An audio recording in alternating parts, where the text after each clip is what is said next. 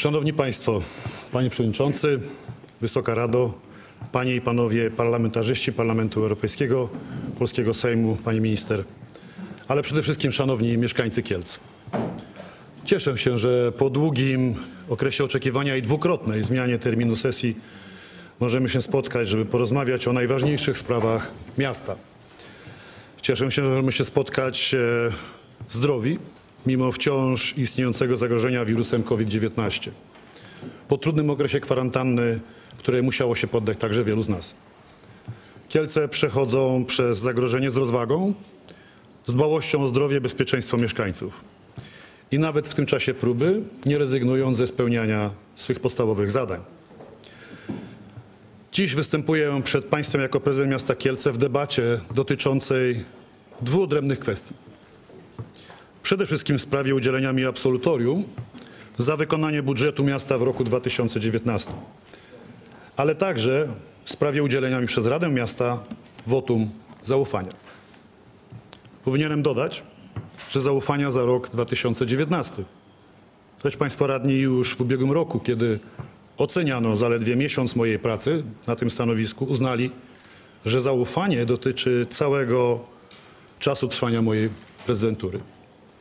Pozwólcie więc Państwo, że w tym roku przed głosowaniem odniosę się do całego czasu sprawowania przeze mnie urzędu prezydenta Kielc. Także dlatego, że sprawa odnosi się do zaufania między radnymi a prezydentem. Szanowni Państwo, drodzy mieszkańcy, prezydenta wybrali w powszechnym głosowaniu mieszkańcy Kielc. Uczynili to, stając do licznie przed urnami w drugiej turze jesiennego głosowania w 2018 roku. O tym, że zostałem prezydentem Kielc zdecydowało ponad 49 tysięcy mieszkanek i mieszkańców naszego miasta. To ogromna liczba, ale także ogromne zobowiązanie dla mnie. Tak wysokiego poparcia nie zdobył żaden z kandydatów ubiegających się od 2002 roku o to stanowisko. Uzyskałem je występując pod własnym imieniem i nazwiskiem. Nie skrywając się za szyldem żadnego ugrupowania politycznego, bez wykorzystywania autorytetu innych osób. Każdy oddany na mnie głos to ogromny szacunek z mojej strony i jest wyrazem poparcia także dla mojej osoby.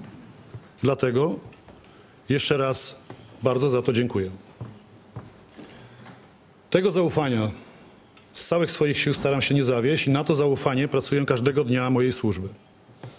Także i dlatego, że przy jego utracie naraziłbym na szwank nie czyjeś partyjne logo, czy nazwisko osoby pod patronatem, której startowałbym w wyborach, ale właśnie imię i tylko imię.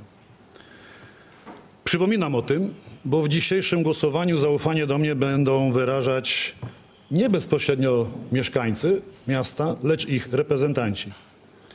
Także ci, którzy zaufania do mnie nigdy nie mieli albo deklarowali je jedynie po to, żeby wykorzystać autorytet mojego nazwiska do otrzymania miejsca w Radzie Miasta. W wyborach 2018 roku ujawniła się bardzo pozytywna energia społeczna i oczekiwanie, że sposób zarządzania miastem powinien się zmienić. To zrozumiałe po 16 latach pozostawania na tym stanowisku przez mojego poprzednika. Każdy przyzna, że w tamtym czasie Kielce się zmieniły, ale przede wszystkim przed miastem pojawiły się nowe wyzwania wymagające nowych impulsów, nowej energii zarządczej i także innych cech zarządzających osób. I to także dzięki temu zostałem wybrany prezydentem Kielc. Proste pytanie, czy po 16 latach miasto może odmienić swoje oblicze w przeciągu 18 miesięcy? Bardzo chciałbym, żeby to było możliwe, ale wszyscy jesteśmy realistami, a to zaledwie jedna trzecia kadencji. Startowałem na urząd prezydenta Kielc prezentując mieszkańcom program skoncentrowany wokół 10 punktów. Nie będę ich teraz przytaczał. To i w jaki sposób staramy się na bieżąco je realizować, pokazano w raporcie o funkcjonowaniu miasta i podczas tej cząstkowej prezentacji przez panią wiceprezydent. ale odniosę się w tym wystąpieniu do kilku bardzo istotnych kwestii, które towarzyszyły mi przy sprawowaniu urzędu. Szanowni Państwo, drodzy mieszkańcy, chciałem i chcę, żeby Kielce stały się miastem jawnej i przyjaznej administracji. To bardzo poważny postulat i towarzyszyło mu pragnienie dokonania kompleksowego audytu finansów miasta przez niezależną instytucję kontrolną. Wynik tej oceny, dokonanej przez firmę ASCO Group, przedstawiliśmy Państwu w listopadzie ubiegłego roku. Ale to, jak zły był stan finansów miasta, zaczęło być widoczne od pierwszych dni mojego urzędowania w gabinecie prezydenta Kielc. Trzeba było szybko negocjować z bankami sposób bieżącej obsługi długu samorządu. Trzeba było natychmiast racjonalizować wydatki i ciąć niepotrzebne koszty. Trzeba też było dokonać korekty nierealnych prognoz finansowych przyjmowanych w poprzedniej kadencji. Pamiętają Państwo, zapewne brak kwoty ponad 160 milionów złotych w wieloletniej prognozie finansowej do 2027 roku. Radni na specjalnej sesji próbowali lekceważyć ten problem, mówiąc, że nie jest to jeszcze zaciągnięty dług. Ale nie dodawali przy tym, że ta wysoka kwota jest już przez wszystkie instytucje finansowe traktowana jako przydzielone zobowiązanie. I nie dodawano także tego, że tak zwaną każdą złotówkę z tej sumy obiecano już mieszkańcom. Pokryciem tych obietnic miała być linia kredytowa, której nie uwzględniono w sposób prawidłowy w wieloletniej prognozie finansowej. Pamiętają Państwo także na pewno o zapisanej w wieloletniej prognozie finansowej kwocie 70 milionów złotych, które miasto miało otrzymać ze sprzedaży gruntów w Obicach.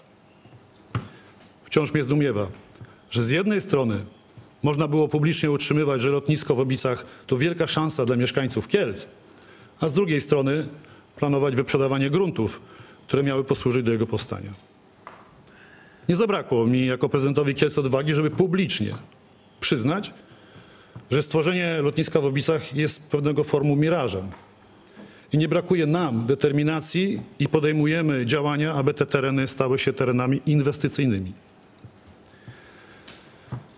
Wracając do finansów miasta, nie ukrywałem żadnej negatywnej informacji i nie dokonywałem tej oceny samodzielnie.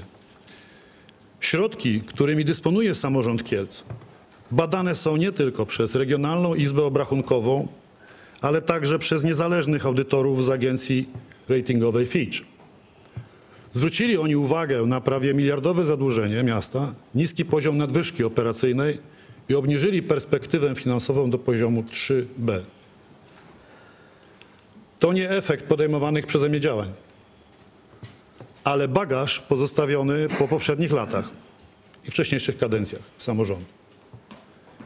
Mimo tego wszystkiego nie usłyszeliście Państwo ode mnie, że rezygnuję z przedstawianych Kielczanom propozycji. Czy znajduję pretekst do bierności? Obejmując urząd, postawiłem sobie za cel, aby w tak trudnej sytuacji budżetowej doprowadzić do zrównoważenia przychodów i wydatków. I chcę tego dokonać przy możliwie najmniejszych oszczędnościach, które mogłyby obniżyć komfort życia mieszkańców. Szanowni Państwo, drodzy mieszkańcy, podejmowane przeze mnie działania przynoszą już efekty. Wypracowaliśmy w 2019 roku nadwyżkę operacyjną. Dochody bieżące miasta były wyższe od wydatków o prawie 57 milionów złotych. Osiągnięty wynik budżetu był lepszy od zaplanowanego. Na koniec roku 2019 pozostały wolne środki w wysokości ponad 104 miliony złotych i dzięki temu zyskaliśmy możliwość bezpiecznej obsługi pozostałego długu pozostawionego nam przez poprzedników.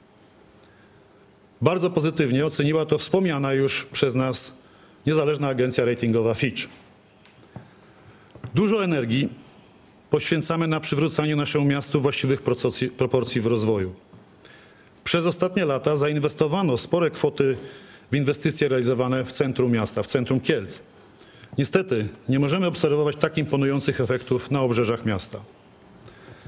Dlatego jednym z priorytetów mojej prezydentury jest dogłębne rozpoznanie potrzeb i zapóźnień infrastrukturalnych zewnętrznych obszarów miasta. Kolejnym krokiem jest rozpoczęcie spełniania często kilkunastoletnich albo i znacznie dłuższych oczekiwań mieszkańców. Tak jak się to działo w przypadku ulicy Miłej, Naruszewicza czy Prostej. I to właśnie z tych okolic jest głos mieszkańców najlepszym audytem sytuacji naszego miasta. Spotkaliśmy się z mieszkańcami większości osiedli. Wszystkie bolączki skrupulatnie zinwentaryzowaliśmy, oszacowaliśmy.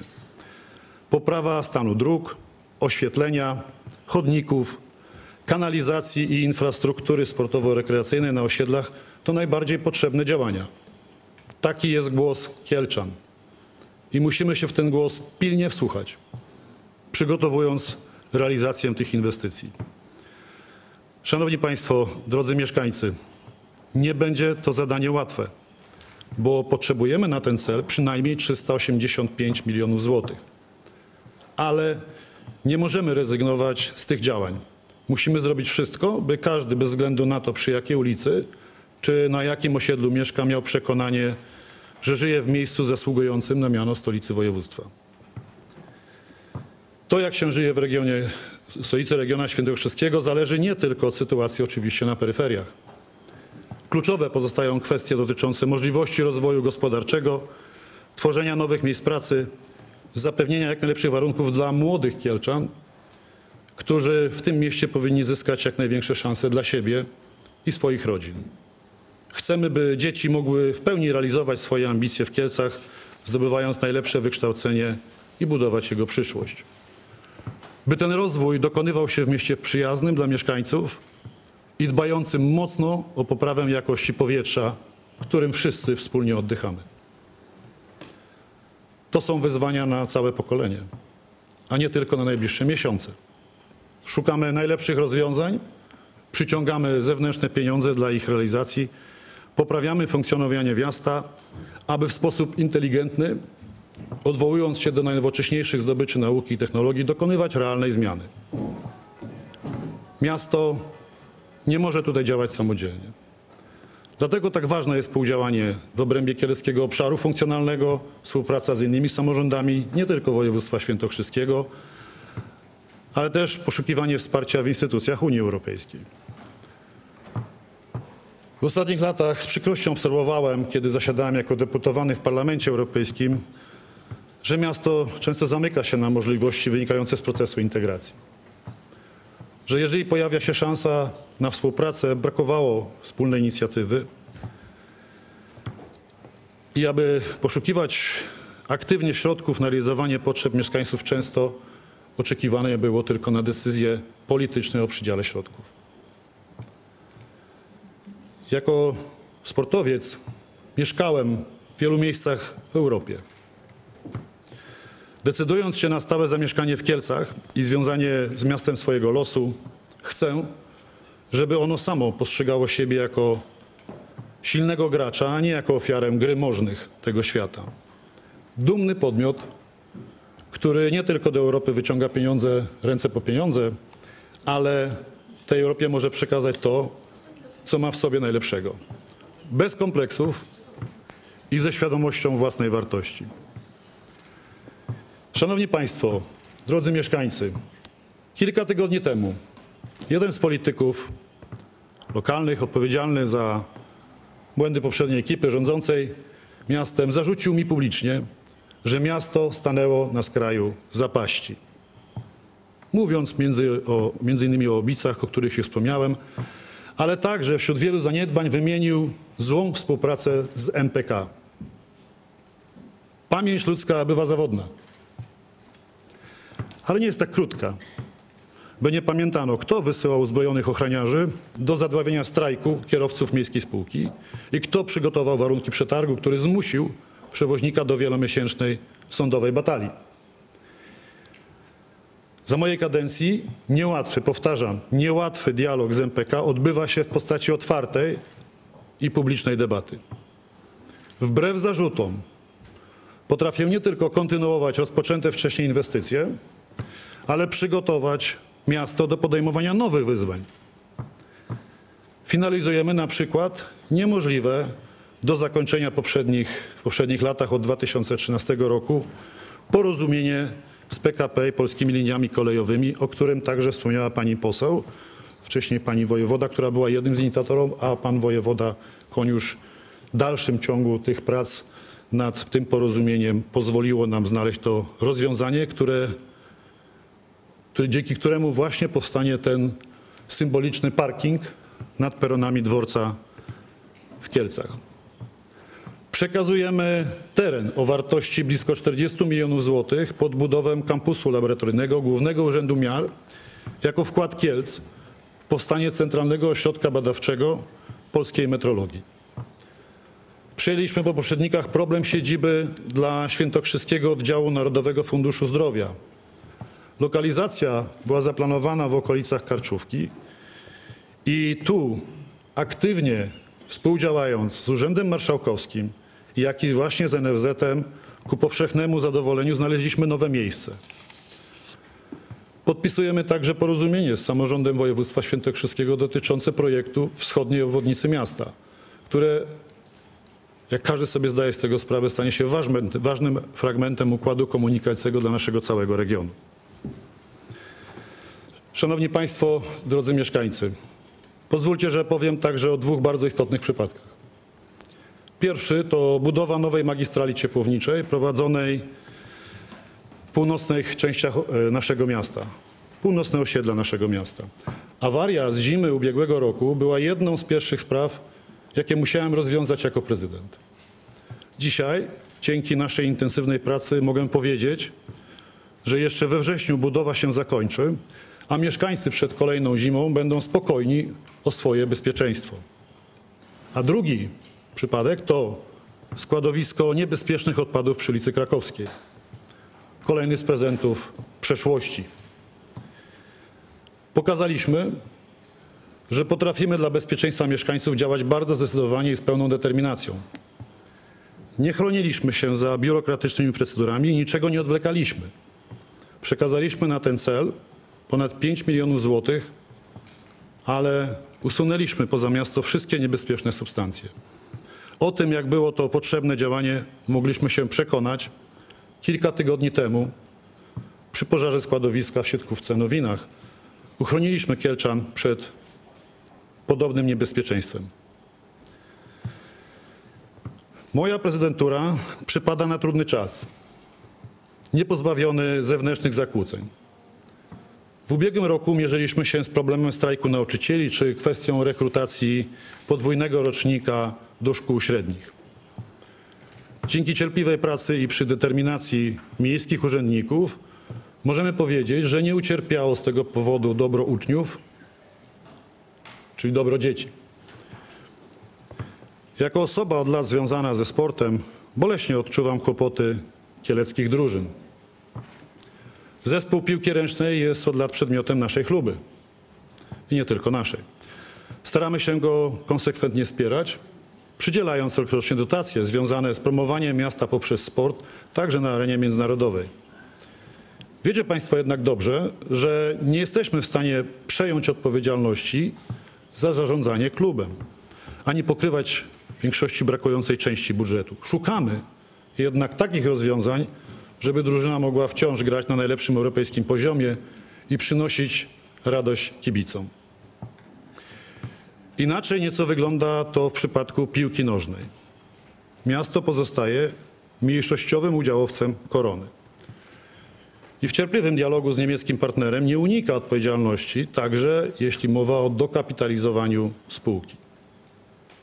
Musimy jednak wyraźnie stwierdzić, że klub potrzebuje głębokiej przebudowy, że nie wolno w nim żyć ponad stan i także lekką ręką wydawać pieniądze pochodzące z budżetu miasta i poprzez brak jasnej wizji rozwoju nadwyrężać zaufanie wszystkich, którym dobro tej drużyny leży na sercu. Ale wierzę jako sportowiec, że po dokonaniu pozytywnej zmiany jest to możliwe i za rok ta drużyna może awansować z powrotem do ekstraklasy. Szanowni Państwo, drodzy mieszkańcy, w tym roku uderzyła w nas, tak jak i w inne miejsca na całym świecie, pandemia koronawirusa. Zmieniliśmy szybko metody naszej pracy, nie rezygnując z żadnych zobowiązań przystąpiliśmy do zdalnej obsługi mieszkańców. Uruchomiliśmy cały pakiet działań mających na celu wsparcie także dla kieleckich przedsiębiorców. Wciąż jesteśmy otwarci na nowe pomysły i szukamy najlepszych rozwiązań. Gdy zostałem prezydentem Kielc, zrezygnowałem z wcześniejszej polityki zawierania umów koalicyjnych z wybranymi ugrupowaniami reprezentowanymi w Radzie Miasta. Chcę wciąż być otwarty na możliwość współpracy z każdym ugrupowaniem i z każdym środowiskiem. Niesie to dla mnie duże ryzyko, bo jestem atakowany najmocniej przez tych, których mogłem kiedyś uważać za swoich partnerów z czasu kampanii przed wyborami samorządowymi. Myślę jednak, i że pokazałem już, dla dobra Kielczan potrafię rozmawiać z każdym. Z przedstawicielem polskiego rządu w regionie, z marszałkiem województwa świętokrzyskiego, parlamentarzystami wszystkich opcji, a wreszcie, a właściwie przede wszystkim z mieszkańcami miasta, bez względu na to, skąd przychodzą i jakie środowiska reprezentują. Tak, sportowe doświadczenie nauczyło mnie, że nie można osiągnąć sukcesu samodzielnie. Nawet najmocniej świecąca, najbardziej rozpoznawalna osobowość nie jest w stanie zapewnić sama wyniku na najwyższym poziomie. Potrzebne jest do tego wsparcie całego zespołu specjalistów i współpracowników i nie tylko konstruktywna krytyka, ale także życzliwość i zaufanie w sytuacjach, gdy okoliczności nie wyglądają najlepiej. Budowanie takiej grupy to praca na lata, a żaden nawet najlepszy menadżer nie osiąga efektów na starcie. Gdy zostałem prezydentem, wiele osób, nie tylko tych, które współpracowały ze mną wcześniej, oczekiwało, że czy w czasie kampanii samorządowej oczekiwało, że szybko porozdzielam stanowiska, nie zrzekając się osobistej odpowiedzialności i nie będę wtrącał się do pracy. Słyszałem o tym nie tylko podczas osobistych rozmów, ale także podczas spotkań gabinetowych czy politycznych negocjacji. Proponowano, proponowano nie tylko rozdzielanie stanowisk czy miejsc w miejskich spółkach i instytucjach kultury. Pojawiły się propozycje personalne i wskazania, kto świetnie nadawałby się do takiej roli. Proszę Państwa, drodzy mieszkańcy, gdybym się wtedy na tę propozycję zgodził, nie musiałbym się pewnie martwić dzisiaj o, lo, o losy wotum zaufania. I nie miałbym tak tylu gorliwych przeciwników. Ale nie mógłbym też dzisiaj spojrzeć prosto w twarz mieszkańcom, przekonując ich, że nie zawiodę zaufania i że nie sprzeniewierzyłem się wyznawanym od lat wartościom. Sukcesu nie jesteśmy w stanie osiągnąć poprzez kupowanie spokoju, ani też poprzez budowanie drużyny opartej na potrzebach najbardziej aktywnych tak zwanych menadżerów. Mówiłem o tym otwarcie jeszcze w trakcie kampanii wyborczej, hamując opinię o potrzebie dokonania wielkiej tak zwanej personalnej czystki w urzędzie. I dzisiaj mogę powiedzieć, że reorganizacja struktury organizacyjnej przyczyniła się do lepszego zarządzania miastem i że umożliwiliśmy także awans wewnętrzny dotychczasowym pracownikom, a nowe osoby pojawiły się na stanowiskach po przeprowadzanych konkursach. Potrafiłem reagować także w trudnych sytuacjach i wciąż, nie zrzekając się osobistej odpowiedzialności, zamierzam w ten sposób postępować. I jestem przekonany, że przyniesie to satysfakcję mieszkańcom i sukces dla całego miasta. Szanowni Państwo, drodzy mieszkańcy, wiecie dobrze, że w zwycięstwo warto wierzyć nawet wtedy, gdy do zakończenia rozgrywki pozostaje bardzo niewiele czasu. Przed nami jest go znacznie więcej. Wykorzystajmy go dobrze we wspólnej pracy. A wszyscy razem będziemy cieszyć się z sukcesu i ten sukces nam wszystkim zostanie zapamiętany na lata. Dziękuję za uwagę i proszę o zaufanie.